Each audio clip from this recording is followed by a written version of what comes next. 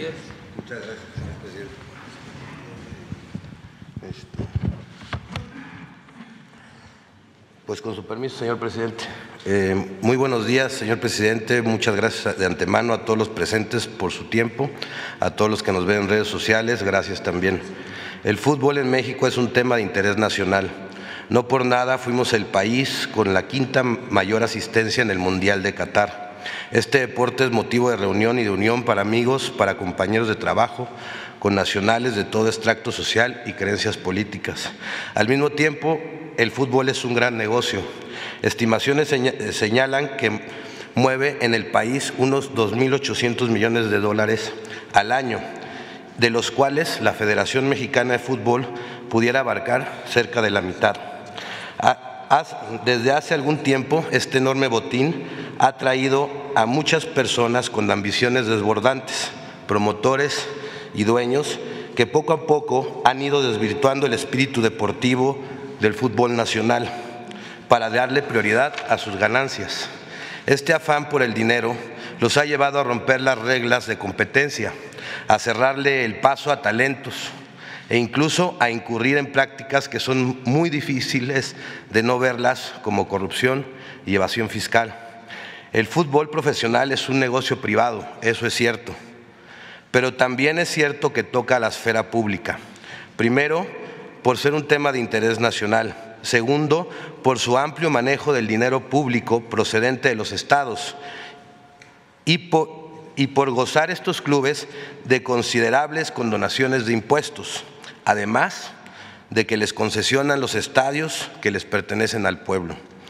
Tercero, por el interés colectivo de miles y miles de jóvenes que depositan en estas instituciones su futuro y sus esperanzas. Cuarto, por los amplios indicios de defraudación fiscal que lesionan las arcas públicas. A estas razones y en vista de la coyuntura actual, añadiría una quinta. Estas prácticas retrasan el desarrollo deportivo del país, como acabamos de atestiguar todos. México no puede permitir que estos grupos de interés continúen matando más generaciones de jóvenes, de jóvenes con talento. Este reportaje tiene la intención de mejorar, corregir y no de perseguir. La intención es que nuestros jóvenes tengan mejores oportunidades, que haya igualdad entre hombres y mujeres y que tengamos un, mejor nivel deportivo. No está de más decir que cualquiera de los mencionados en este reportaje tiene garantizado su derecho de réplica en el portal Quintana Roo MX. Doy inicio a mi presentación, señor presidente, no sin antes agradecer esta oportunidad.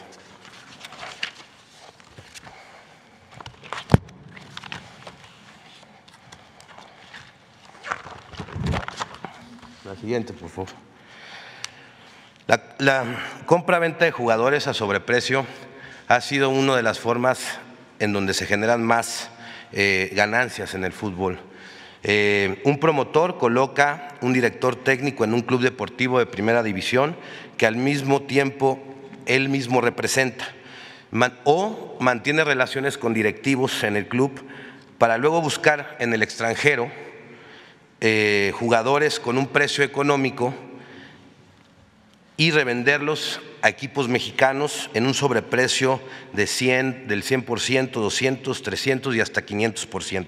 El sobreprecio generalmente se reparte entre involucrados y hay moches para poder aceptar este tipo de, de precios. Las operaciones de compra-venta de jugadores no son vistas por el SAT. Y pongo algunos ejemplos de una transacción de un correo electrónico entre promotores en donde pues básicamente están diciendo, este correo es del 2012, están diciendo que eh, pues el precio del jugador eh, real, que por ejemplo en el caso del jugador Funes Mori, en ese momento su precio real era de 2.5 millones de euros y lo querían vender en 4.5 millones de dólares. O el de Vilchis, eh, eh, Andrés Vilchis, que es un, fue un goleador de la Copa América, y pues bueno, eh, pensaban sacarlo entre 1.5 y 1.8 para revenderlo en 4 millones de dólares en México.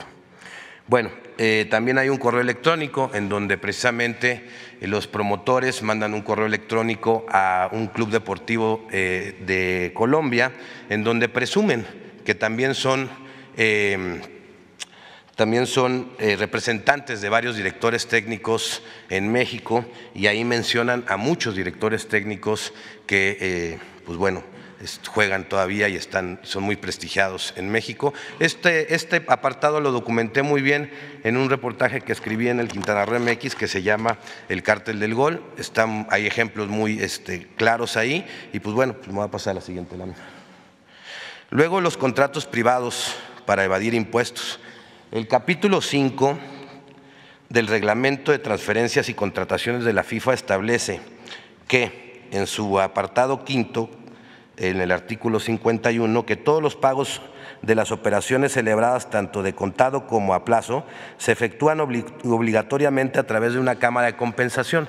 Esa cámara de compensación tampoco está regulada por el SAT, tampoco tiene, ah, eh, digamos, una vista. Y ahí pongo un ejemplo de un correo en donde precisamente el Club Atlas, en una negociación con un promotor, le decía que al momento de documentar esto, ustedes me solicitaron hacerlo en dos contratos, uno oficial para registrar frente a la federación y otro complementario donde se complementan los salarios y todo.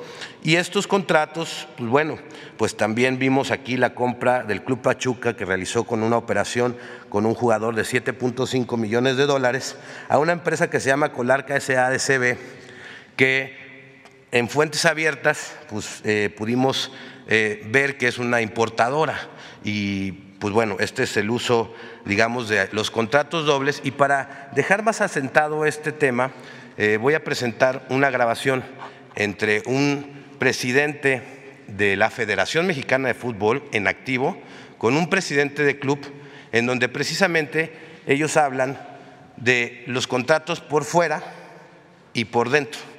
Eh, contratos por dentro es peculiarmente interesante porque está hablando el presidente de la Federación Mexicana de Fútbol eh, y pues está violando su propio reglamento, ¿no? Porque se supone que debería de pasar todo por la Cámara de Compensación, pero pues él mismo está diciendo, entonces no sé si lo podamos escuchar.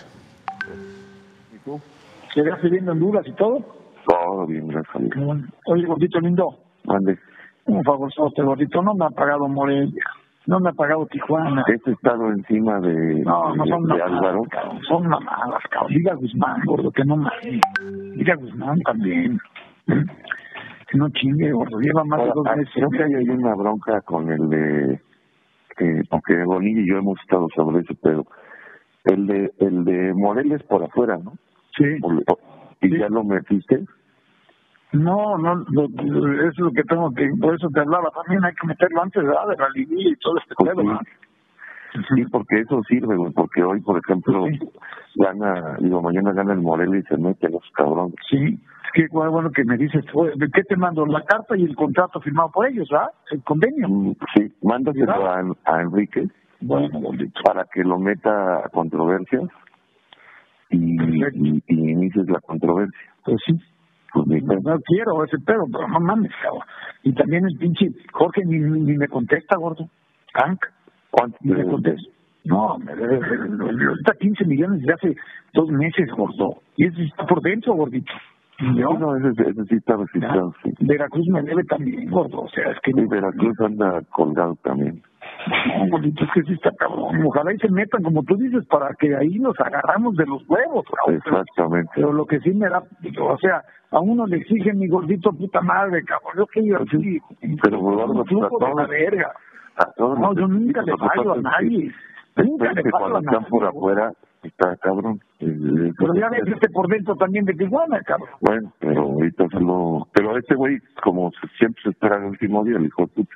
No, no, pero no nada, porque cabrón, nunca le fallé. Fueron nueve millones de dólares que le pagué, todos le he pagado y este hijo de puta no mames. O sea, y contrato un técnico, Miguel Herrera, de millón y medio de dólares, ni siquiera Zambuesa que gana, o sea, no mames. O sea, es, eh, qué cinismo, cabrón. Es lo que me imputa, cabrón.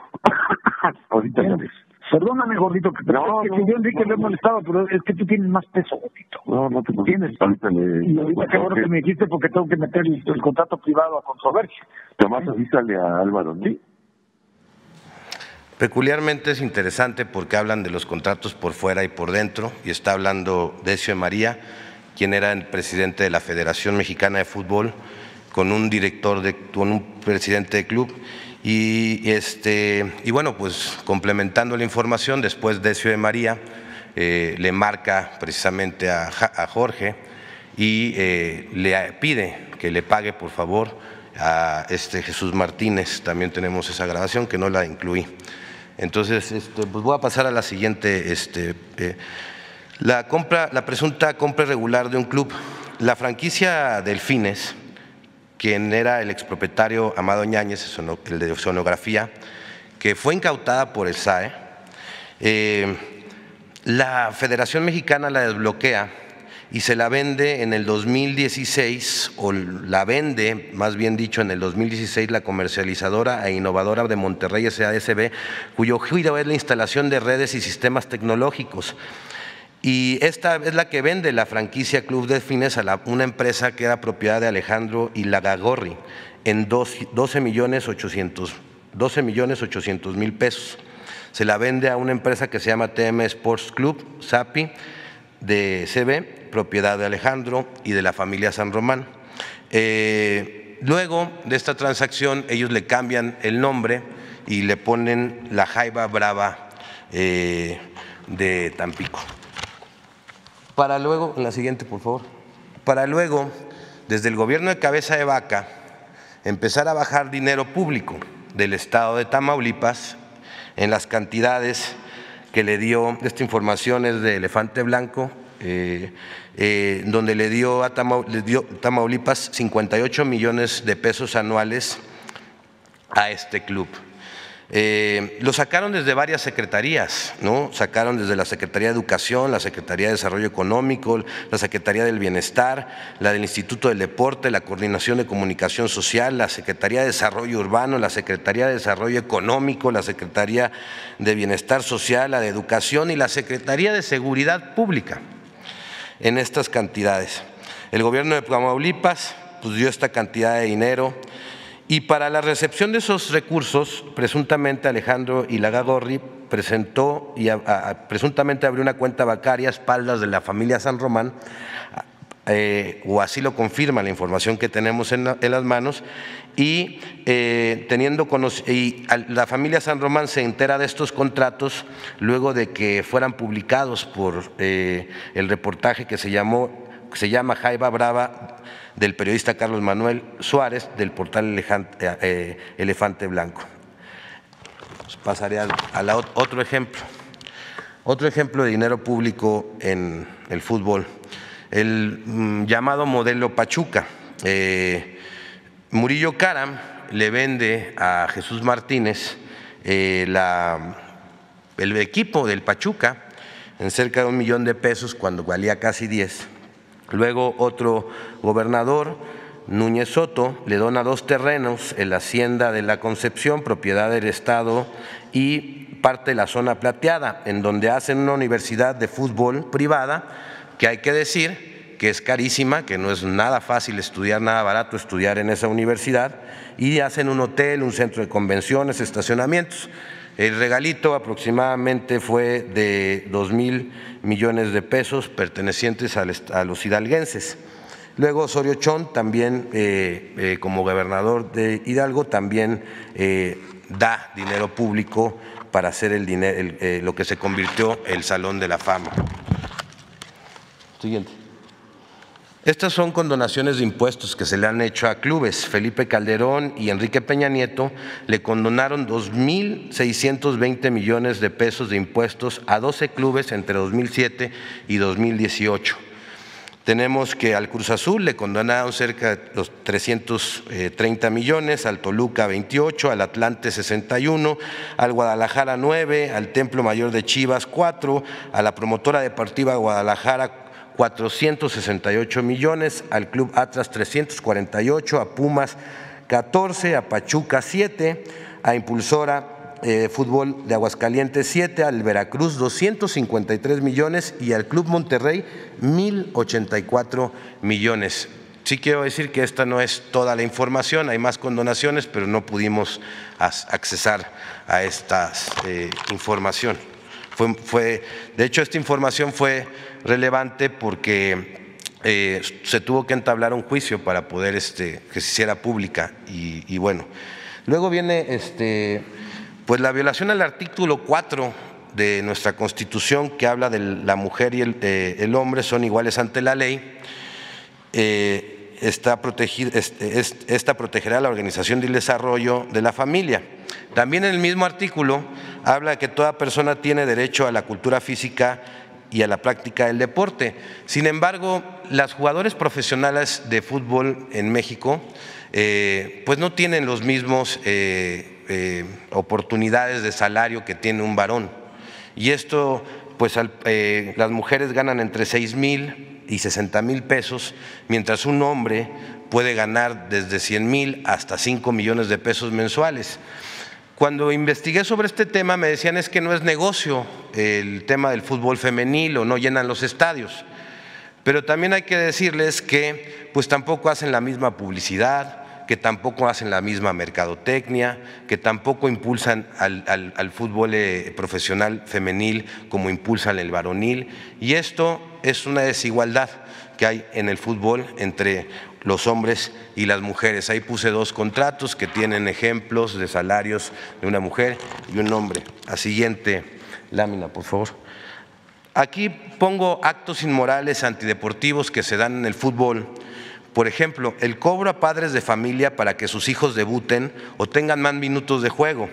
Tenemos documentados más de 50 casos de padres de familias quienes por miedo de represalias contra ellos o sus hijos, pues han pedido anonimatos en donde les piden dinero precisamente para debutar a sus hijos, para poder este, debutar, eh, hacerlos jugar. Como ejemplo tenemos el caso de Jesús, quien señala al profesor Gonzalo Román Bolaños de haberle pedido 400 mil pesos en concepto de patrocinio para debutar a su hijo en el Alebrijes de Oaxaca. también en este caso hay otro, eh, eh, ya tiene una denuncia penal contra otro promotor que le cobró otro dinero para poderlo debutar en otros clubes. Después venimos con la preferencia de lo económico y no por lo deportivo. El afán de priorizar los beneficios económicos para los dueños de los clubes, estos toman la decisión de eliminar el ascenso y el descenso, lo que ha perjudicado el nivel de competitividad en la Liga MX. Y pues bueno, lo hacen para que sus clubes no bajen y porque cuando baja un club eh, a, primera a la liga de expansión, pues baja considerablemente el precio de la franquicia y las ganancias que tienen de ellos. Eh, también hoy en día cada club puede tener hasta ocho extranjeros jugando en la cancha, lo que limita el espacio a los jóvenes talentos mexicanos y fomenta el negocio de la compra-venta de jugadores a sobreprecio y el presunto fraude fiscal del que habíamos hablado en la primera, en la primera lámina. Eh, antes no era así, antes había nada más cinco. Y la multipropiedad que está prohibida por la FIFA, la cual ha aumentado en los últimos años en México y que causa un grave conflicto de intereses en el fútbol mexicano. Siguiente. Esta me trajo mucha la atención porque la mayoría de los ciudadanos creemos que los Pumas son de la Universidad Autónoma de México, pero no, en realidad eh, son del Club Universidad Nacional AC, una asociación civil con una eh, personalidad jurídica propia, ajena a la universidad, a la cual están integrados empresarios, periodistas, políticos, exfuncionarios de la universidad y funcionarios activos que necesitan tener en esa asociación. Y pues uno de los que es dueño aparece como socios en la parte de los Pumas, pues imagínense, es Ciro Murayama Rendón, consejero del INE, Jorge Espinosa de los Monteros, quien es promotor y vende jugadores eh, también. De hecho, a, él se le achaca, ahorita a él se le, se le da que hayan contratado a Dani Alves ahí en, en los Pumas, o sea, un grave conflicto de intereses, ha vendido muchos jugadores en México, es perteneciente al, al, reportaje que escribí del cártel del gol como uno de los operadores, promotores con más transacciones que lo hacen a través de prestanombres, que esto es importante. Llegar a ellos es muy, muy complicado porque usan a otro, a otro, a otro para llegar a, ese, a esa transacción. También están este, Alejandro Midamora, ex nieto del abogado, eh, también este, Eduardo Medina, este, hijo de Eduardo Medina Mora, Raúl Medina Mora, eh, Alonso Carvajal Villaciencio, que es comentarista de Televisa. Y bueno, este reportaje fue publicado por Mauricio eh, Romero en el portal Aristegui Noticias y pues bueno, es bien interesante porque eh, la universidad le da 50 millones de pesos anuales y le presta el estadio a esta asociación para que, para que puedan este, llevar a cabo sus actividades. Y me llama mucho la atención porque antes de hacer esta separación, eh, todos los jugadores que salían de la UNAM eh, pues tenían que estudiar y tener una profesión para poder seguir jugando. Y por eso vimos la generación de Hugo Sánchez y por eso el máximo goleador de nuestro país, pues también es odontólogo.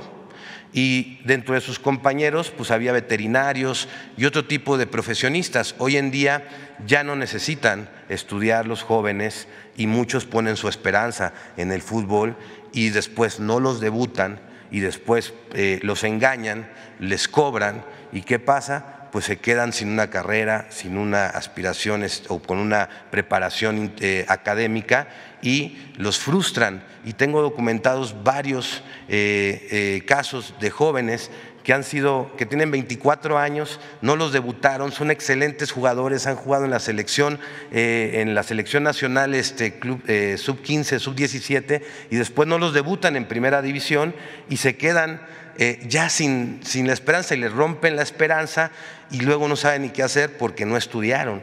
Y eso no pasaba en la Universidad Autónoma y hoy sí pasa. ¿no? Y bueno, pues el fútbol se le quitó a la universidad. Tengo una serie de conclusiones que me gustaría decir, que hay una falta de regulación por parte del Estado eh, muy, muy grande en el fútbol y esto complica la recaudación y fomenta el lavado de dinero y la evasión de impuestos. Eh, se debe fortalecer a la Comisión de Apelación y Arbitraje del Deporte, la conocida como el CAT, y se debe prohibir que cualquier persona vinculada a un club deportivo sea presidente o consejero de esta asociación, de esta, de esta institución, perdón. El CAT debe de abrir carpetas de oficio cuando eh, un hecho público notorio denuncia alguna irregularidad en el fútbol y debe tener carácter coercitivo porque en este momento no lo tiene. Eh, también una tercera recomendación es quitar del control de la Federación Mexicana a las televisoras. Hoy en día eh, las televisoras tienen el control de la Federación y de la Selección Mexicana y eh, pues yo, eh, a modo de sugerencia, pues a lo mejor estaría muy bien nombrar un comisionado, un comité regulador conformado por especialistas independientes en fútbol que vigile el buen funcionamiento de la selección y de los jugadores y el cuerpo técnico, la selección de ellos. La selección mexicana debe de ser de los mexicanos y no de los negocios de pocos y los intereses de pocos. Llevan nuestro nombre, nuestro país, nos representan y hoy en día yo la verdad no me siento representado por la selección mexicana que pues básicamente representa el interés de dos televisoras y que de unos cuantos eh, personas eh, que pues bueno han encontrado un gran negocio ahí. Yo no me siento representado por ello.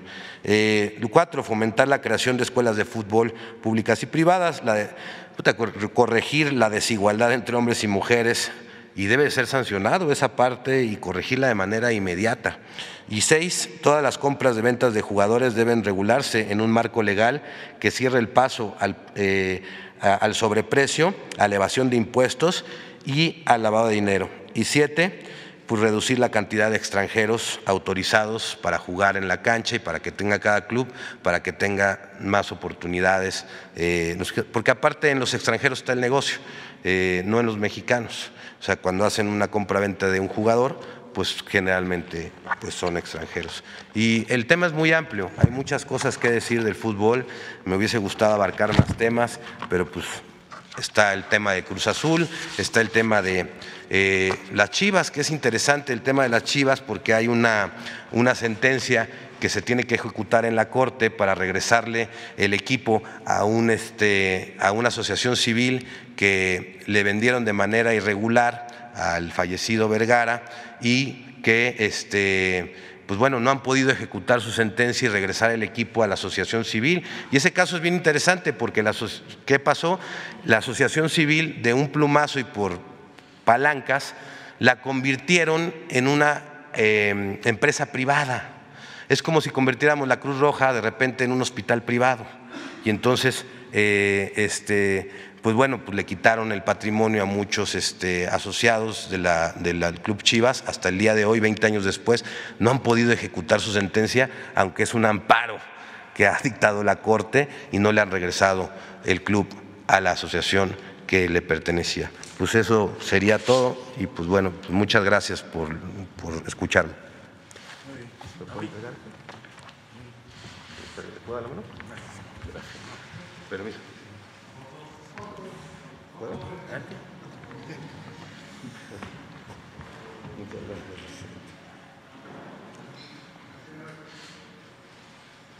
Muy bien. Permiso. Vamos. Permiso. Secretario.